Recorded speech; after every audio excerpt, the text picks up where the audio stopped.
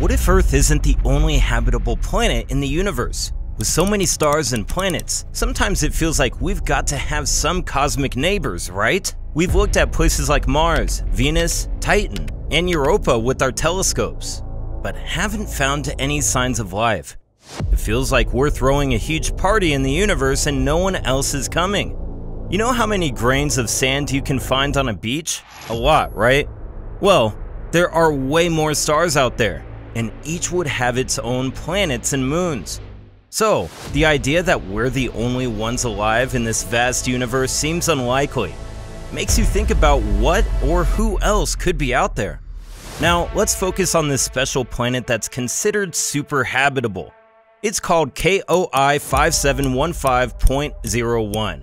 Think of it like Earth, but even better for supporting life.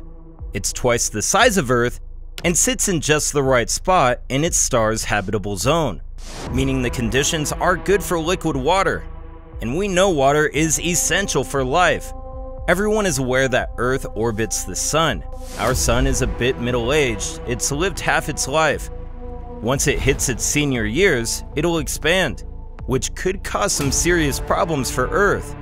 It's a bit unsettling, like realizing you're sitting on a ticking time bomb but KOI 5715.01 is a whole different story.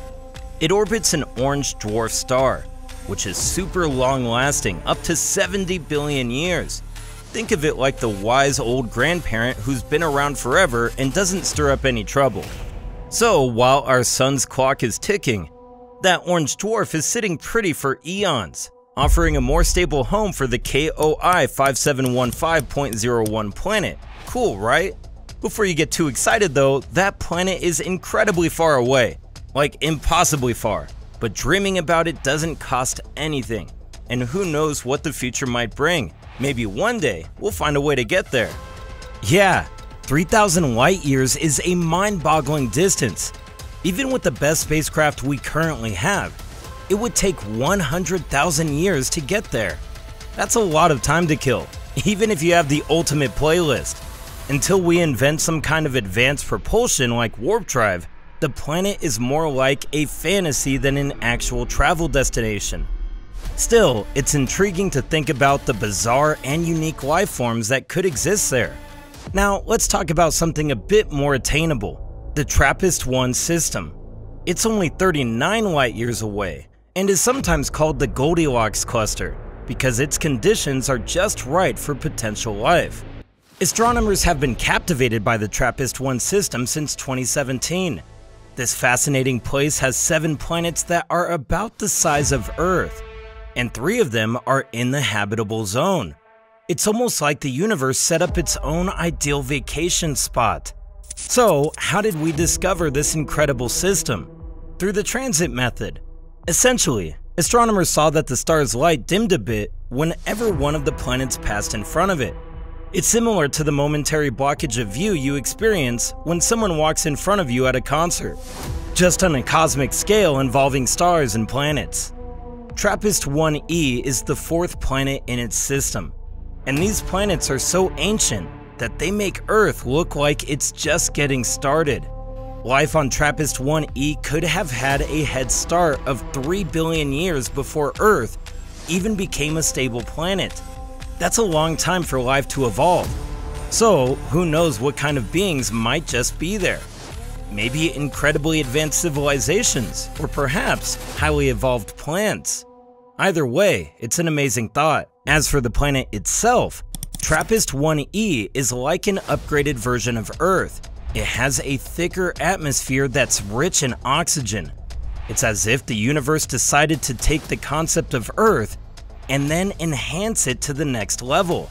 The TRAPPIST-1 system is definitely unique compared to our own. The star at its center is a small red dwarf, about the size of Jupiter, and it's much cooler than our Sun. Because of that, the planets in the system orbit really close to their star, so close that their orbits would actually fit within Mercury's orbit around our Sun. This close proximity also leads to some interesting characteristics. For example, the planets are tidally locked. meaning one side is always facing the star while the other faces away. This could create a Goldilocks belt, a zone with just the right conditions for life, running around the middle of each planet. It's a setup that's unlike anything in our solar system, but offers intriguing possibilities for life. The planets in the TRAPPIST-1 system are so close together that if you looked up, you'd see other planets appearing almost as big as the moon in our sky. It would be an awe-inspiring sight to say the least. And the idea of taking vacations from one planet to another within the same system? Now that's a game changer. Since it's just 39 light years away, it's not too far-fetched to think that future generations might consider TRAPPIST-1 a prime travel destination, whether they're looking for cold, hot, or just right conditions. Switching gears a bit, let's talk about Kepler 452b. This planet is eerily similar to Earth. It orbits a star much like our own Sun, and it takes 384 days to complete one orbit which is just a little bit longer than a year here on Earth. It's like we're looking at Earth's cosmic twin, a month that's exactly 32 days? It's like someone up there really wants us to sync our calendars effortlessly. Can you imagine? No more awkward 28 or 31 day months? Just smooth 32 day sailing. Think about the harmony. But here's the deal Kepler 452b is a supersized Earth. We're talking Earth 1.5, complete with mega continents and more oceanfront property than you could dream of.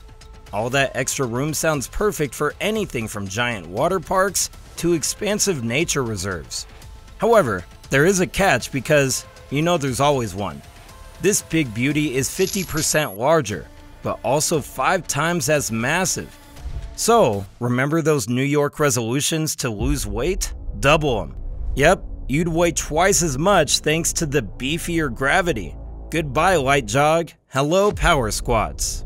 We used to think that Jupiter acted like a big protective sibling for Earth, shielding us from asteroids. However, new computer models are challenging that idea, suggesting Jupiter might not be as effective a protector as we thought. That's actually good news for Kepler 452b, which doesn't have a giant planet in its system to worry about it might be safer from asteroid impacts than we initially believed. So, are you getting excited about the possibility of space travel? Imagine a future where you could be relaxing on a beach on Kepler 452b. Due to the planet's gravity, you could even burn calories just by lying there. But hey, nobody's perfect, not even dreamy exoplanets. Kepler 452b's sun is getting a bit long in the tooth. And you know what they say about old stars? They crank up the heat. Literally, it's throwing out more radiation, which could lead the planet down a slippery slope to a greenhouse meltdown. One minute, it's like Earth, cool, lush, and full of life. The next, it could go all two-face on us and turn into a hot, unlivable mess like Venus. So, it's like the Gotham City of planets. You never really know what you'll get. Our final destination is 600 light years away in the constellation Cygnus. There you'll find Kepler 22b, a planet that's shrouded in mystery, much like the Bermuda Triangle here on Earth.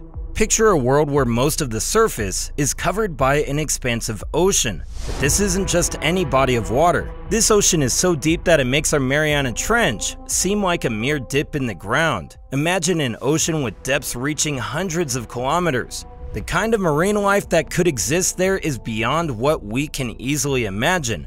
It's like an entirely different world beneath the surface. If or when humanity finally decides to pack up and visit Kepler 22b, the element of surprise would be off the charts.